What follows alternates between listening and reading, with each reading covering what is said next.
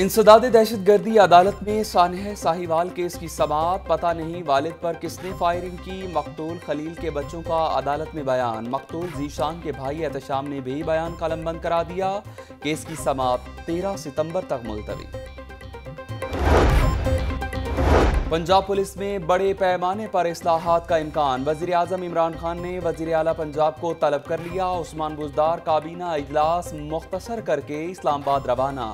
Special economic zones اور صنعتوں کے حوالے سے اجلاس بلایا گیا ہے، ذرائع وزیر اعلیٰ ہاؤس وزیر اعلیٰ پنجاب عثمان بوزدار کی زیر صدارت کابینہ کا اجلاس ختم، پولیس اصلاحات اور زیر حراست ملزمان کی ہلاکت کے واقعات پر مشاورت۔ احساس پروگرام، شیخ زید ہسپتال کو گرانٹ کی منظوری سمیت پندرہ نکاتی ایجنڈے پر غور۔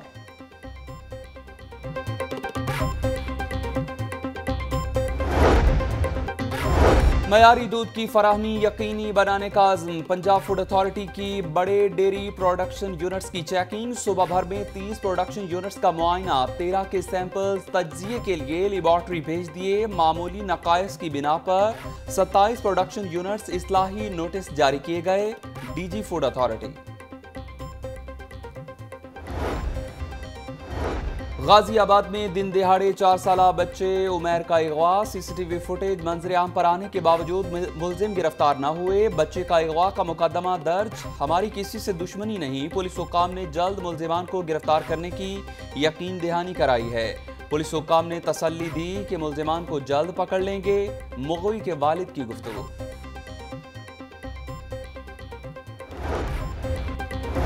ڈسٹرکٹ ایجوکیشن اتھارٹی کی بچوں پر تشدد کرنے والے اساتذہ کے خلاف کارروائی، ڈی جی ایل سکول کا ٹیچر اور سربراہ معطل، ٹیچر محمد اشرف اور ہیڈ ماسٹر غلام مصطفیٰ کے خلاف ایف آئی آر درج۔